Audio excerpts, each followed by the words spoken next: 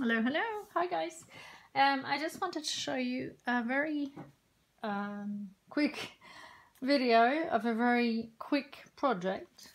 Um, this was kind of like a rush order that I got from a very good friend, an old school friend, and uh, she wanted me to make something for her dad and asked me if I had something more masculine, uh, which luckily enough I did. Um, I used Ephemera's Vintage Garden um, kit, Gentlemen and Scholars, which uh, yeah fits perfectly for her dad.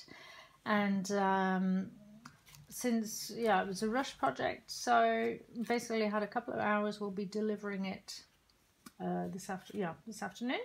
So I just wanted to show you what I did. Um, it's not a journal, it's not a card, it's not a journal, but it's sort of in between. Um, I haven't sewn it yet. Will be sewn in the middle, of course. Where else? And um, it's just basically made up of the pages. So there are tuck spots in it, little hidey places. What I will be doing is I'll be putting a sort of like a little description of a junk journal in the pocket. And then uh, on these pages will be messages um, from the family. And I'll be putting those in the, in the tuck spots throughout, hiding that. I've got a little elephant here with its trunk turned up, which is a sign for good luck.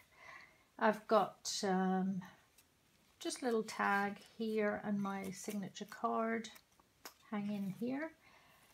And my B, of course. Tuck spots throughout.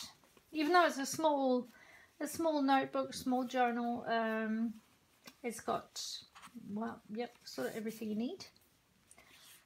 And room to put little messages from the family. I will put a couple of paper clips here and here's my card with a tuck spot underneath and then I will wrap it up in brown paper and um, put this, uh, be cutting this out, um, also inking it up and um, the whole, you know, as a, I think it's, it's rather than a birthday card, it's something a little bit more interesting and it hopefully entices people to, you know, keep other little goodies over the years and to note dates down, special things, who knows.